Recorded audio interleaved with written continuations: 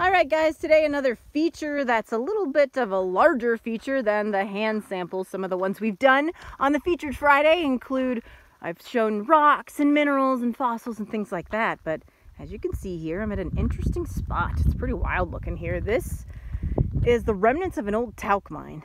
And they, a lot of times, the ones I've seen will have just like the adits, some holes that go kind of in and straight down. Um, but this one, they blasted this away, this whole wall here. Check this out.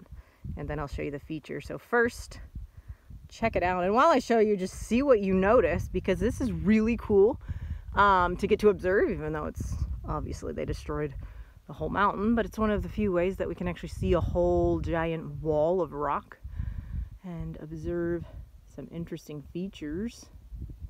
So yeah, isn't that just crazy looking. Like look at the layers you can see there. I'll walk down here and show you. So yeah, so first off, see if you can guess what I'm going to say. See if there's anything obvious that looks super cool, even though there's lots of things. But um, yeah, so in the area here, let me just give you a little background. Like I said, a lot of talc mining. Uh, you can see the bright white down there. Might have alluded to the fact that this was mined for talc um, in the area. You can find marble, um, there's iron ore, there's um, some volcanic rock, so there's uh, there's quite a bit of granite in some areas that underlie this.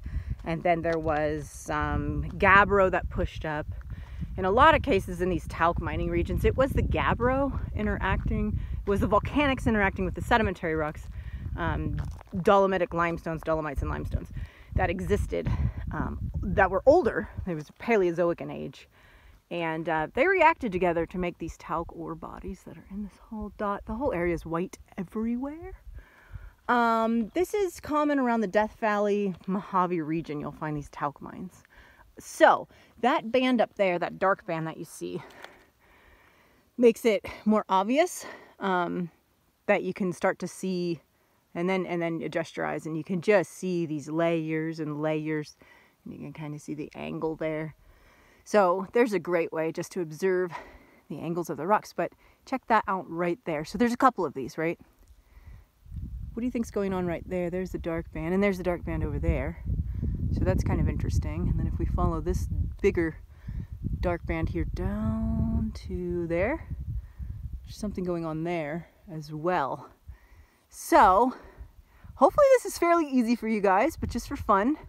Um, I just, I'm trying to find features that are cool while I'm exploring um, to show you. And there's quite, you know, a whole bucket load of them out there. So I'll randomly put these up as featured Fridays and just for fun. I leave you guys to guess at first. I will reveal it because I don't want to leave it open. Um, but even though I will tell you what we're looking at, try to take a guess and uh, drop it in the comments. And don't don't cheat. Just drop your guess in the comments as to what you think is going on here. And I'll show you a few more interesting things around the area while you think about it, and then I'll tell you what's going on here. Here's some of the stuff related to talc ore here laying around. There's some other related minerals here, but we won't go too deep into that. Um, this is some of the volcanic stuff that's interacting with these sedimentary rocks. And way down here, there were some nice dendrite patterns. I've done some videos on dendritic patterns.